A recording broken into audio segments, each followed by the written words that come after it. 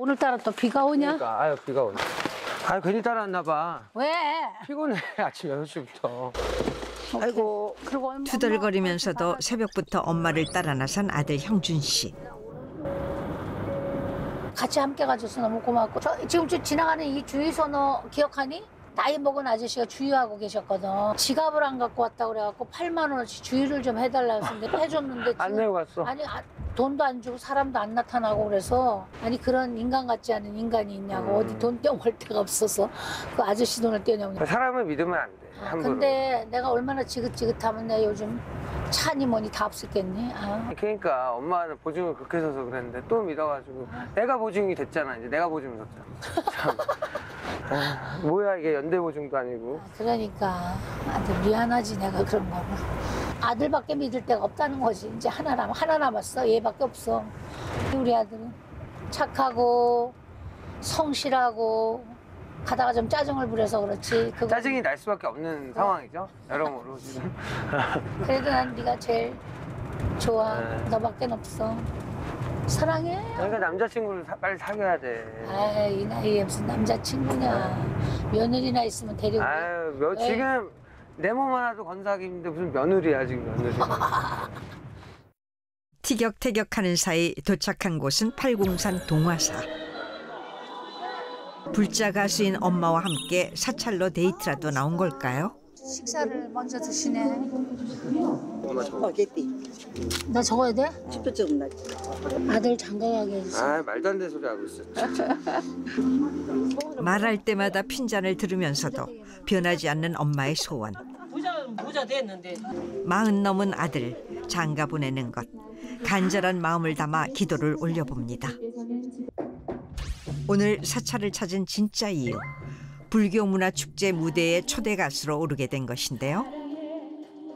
계속해서 더 멋진 가수분 소개해드리겠습니다. 어, 여러분들과 함께 하시는 불자 가수이시고요. 일일 매니저로 동행한 아들 형준 씨.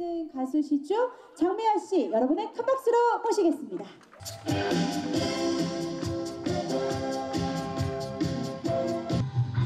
내일 모레면 여든을 바라보는 나이.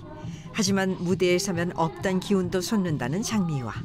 그런 엄마에게서 눈을 떼지 못하는 아들.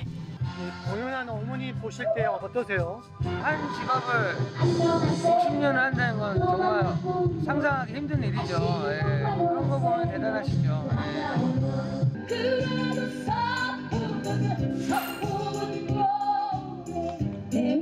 나이가 무색할 정도로 파워풀한 가창력. 청중들을 사로잡는 장미화. 인생의 고달팠던 시간들도 노래가 있어 견뎠고 헤쳐나올 수 있었습니다. 무대 위에서 가장 빛나는 당신은 천생 가수입니다. 이번엔 아들 형준 씨의 아버지를 만나러 갈 차례.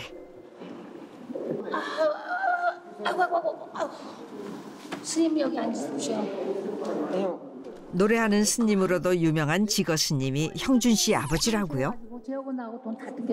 그러니까 우리 보살님이랑 저랑 서울 영등포에서 장애인 복지관, 노숙인 복지관 그러니까 우리 만난 지가 한 25년 된 거야. 20년 20년 정도 20년이 훨씬 넘었지. 그때 이제 내, 내 상자.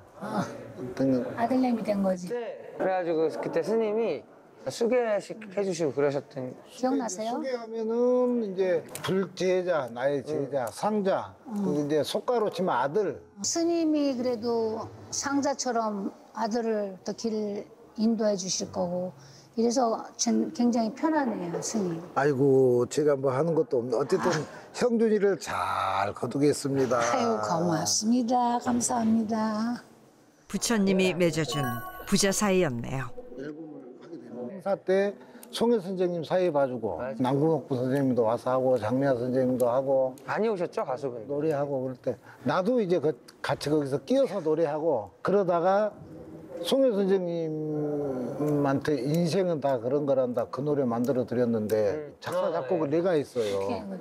너 작사 작곡 잘 하잖아. 한번 해보세요 한번 들어볼까요? 아니 지금 그거 고시계 시간은 세월 따라 흐르고 스쳐간 인연을 아쉬워 말아라.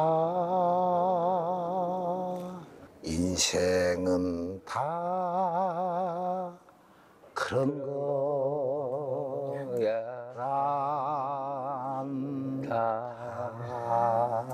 예수. 어떻게 그런 곡을 쓰세요? 근데 이제 법당에서 불러도 되는 건가요? 선생님? 사사. 이거 다 부- 부처님 가르침이잖아. 장미화 보살님 그 힘든 그런 과거도 다 인생이 다 그런 거니까 원래 연예인 활동하고 또 그러다가 뭐 아는 사람들 잘못 엮여가지고 돈도 거금도 떼이고 누구나 인생에 굴곡은 다 있는 건데 우리 형준이 엄마 장미화 보살님도 굴곡이 많았지요. 그래도 우리 장미화 보살님은 불심이 워낙 깊고 남들한테 자비를 베푸는 보시행 이제 이런 것들이 있기 때문에 큰 불심과 자비심으로 어, 지난 역경을 다 이겨내시고 기도라고 생각하세요 노래를 좋은 노래 잘 해주시기를 바랍니다. 네, 아유, 너무 보살님. 감사합니다. 만나서 고맙습니다. 반갑습니다. 아유 고맙습니다. 예.